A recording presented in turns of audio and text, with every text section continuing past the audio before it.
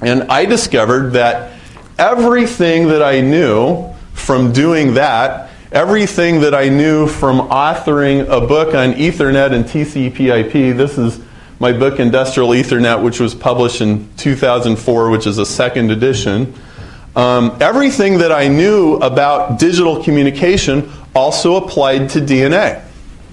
Everything. Matter of fact, you can open any book about computer networking or digital information, and probably something on that page applies to DNA. Concepts like number of bits, symbol conventions, objects, signal to noise ratio, bandwidth, trade offs between, um, between uh, speed and redundancy, um, all of the things that digital communication, uh, data compression, all of these concepts apply to DNA. And they apply exactly, it's the same math, it's the same everything. And when I realized that, I realized, okay, we've got a core principle through which we can look at this problem. And so, uh, and thus began a whole search and a whole investigation. Um, so I, I, want to uh, outline a demarcation that I've seen um, in the world. Uh, about uh, 15 years ago, my wife went to the library and she brought home a book on fractals.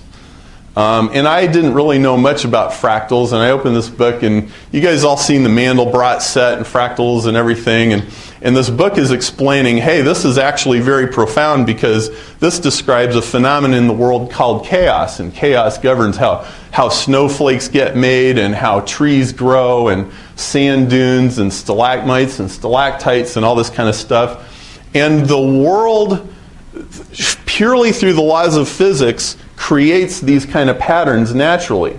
So, in the case of tornadoes and hurricanes, if you take hot air, cold air, moisture, and time, and you put things together in just the right amounts, you will get a tornado, you will get a hurricane. Nobody has to design it. Okay? Similarly, snowflakes, water, cold air, gravity, wind, and time. If, if the conditions are right, you'll get snowflakes. Uh, snowflakes don't have to be designed by anyone. Okay? Now, um, let's talk about something else in the world. Let's talk about designs. Think of music. Uh, somebody plays music, they're playing from a sheet of paper. Now, the sheet of paper and the music you hear, they're both music, but they exist in different forms. The sheet of paper is a symbolic representation of music, and based on the convention of symbols that has been chosen for the notation of music, um, you then follow, you read the music and you play it, and you get a real implementation of what is abstractly represented on the piece of paper. It's the same thing if you record and play back a CD. You have an abstract representation of a sound which has been encoded and then it's decoded and you play it back. Similarly, code. You guys know all about code. That's kind of stuff you do here at Lucent. Um, Microsoft Windows, on the right side is the implementation. On the left side is what's actually on the Windows CD or actually on your hard drive. So you have you have a you have a, a conception and you have an implementation. They're the same thing, but one's abstract and one's real. Now, you have patterns like stalagmites and stalactites and snowflakes. They come from matter and energy. They require no thought or planning on anybody's part.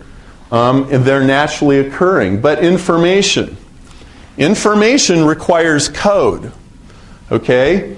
Um, if you're going to actually have them, you have to have matter and energy and information, and it requires thought. There has to be a premeditated, arbitrary decision about what the scheme of coding is going to be.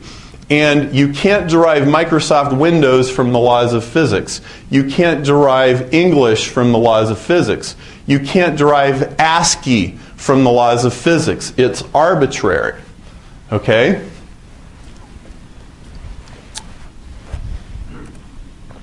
Now, let's talk about DNA. Double helix, it divides and bases attach, um, splits down the middle, kind of unzips, and then uh, complementary chemicals come and form a, um, a complementary DNA stand, uh, strand. Uh, four bases adenine, thymine, cytosine, and guanine.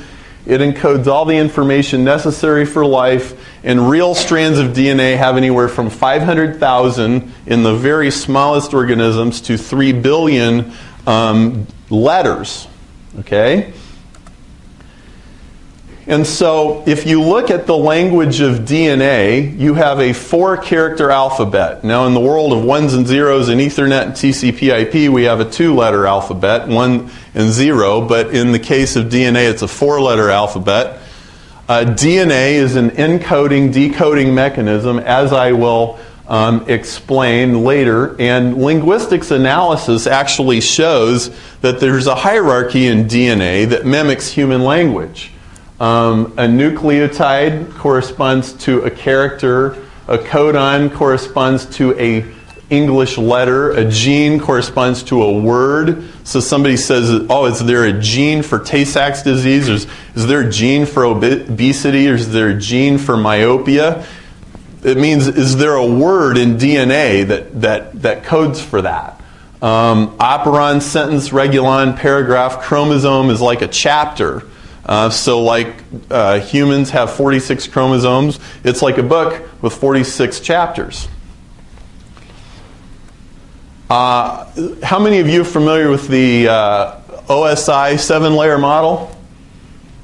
Almost every, oh, this is great. You know, if I go talk to a lay audience, they're like, have no idea.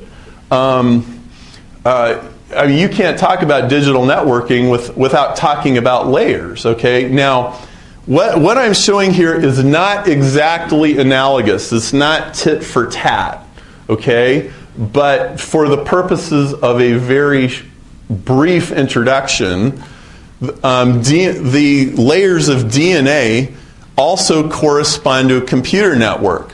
For example, um, in Ethernet, what's the physical layer? Well, the physical layer could be the blue cable that plugs into your computer. It could also be the wireless. It could be 801. Point, you know, A or B, you know, 11 megabits per second or 55. Um, but it's a physical layer. You can have an entirely different physical layer and still have the exact same information being passed back and forth from an application point of view. Why? Because the application layer stayed the same even though the physical layer was different.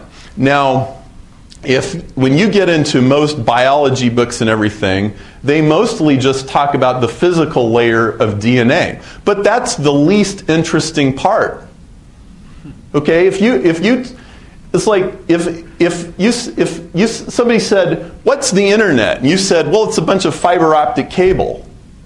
Wouldn't that be more than slightly misleading answer? I think the internet is a whole lot more than a bunch of fiber optic cables. It's it's an entire subculture. It's millions and millions of of computer programs and web pages. And, and so the interesting part of DNA is all the upper layers. The least interesting part is the A, C, G, and T.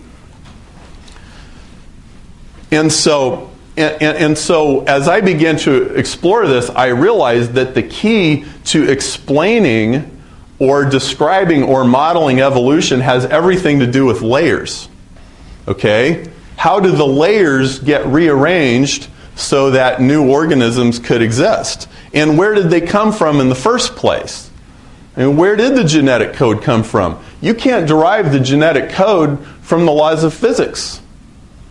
ACGT is four letter code. How come it's not two? How come it's not six? How come it's not eight? You can read all kinds of biology papers that discuss what if it was a two letter code, or what if it was a four, or it was a four, what if it was six, what if it was eight, what if it was hexadecimal. You can, you can find discussions of all that, and you actually find analysis that says, well, actually, a four letter code appears to be the best choice out of all the possible ones for a number of reasons I don't have to go into today. But it's arbitrary. You can't